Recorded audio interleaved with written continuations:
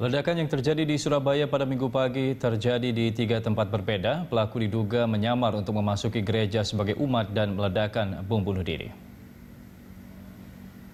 Tiga lokasi itu yakni di depan Gereja Santa Maria Tak Bercela di Jalan Ngagel Utara, Gereja Kristen Indonesia GKI di Jalan Diponegoro, dan Gereja Pantekosta Pusat Sawahan di Jalan Arjuna, Surabaya. Peristiwa terjadi sekitar pukul 7 saat jemaat melakukan ibadah. Komisaris Besar Polda Jawa Timur Frans Barung mengatakan pelaku menyamar menjadi jemaat gereja kemudian meledakkan dirinya sendiri. Sedikitnya 10 orang tewas dan 40 orang lainnya luka-luka.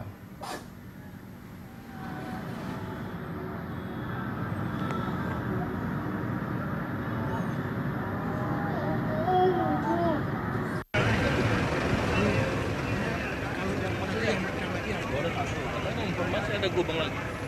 Pak Bobong, ini gubeng. Iya. Assalamualaikum.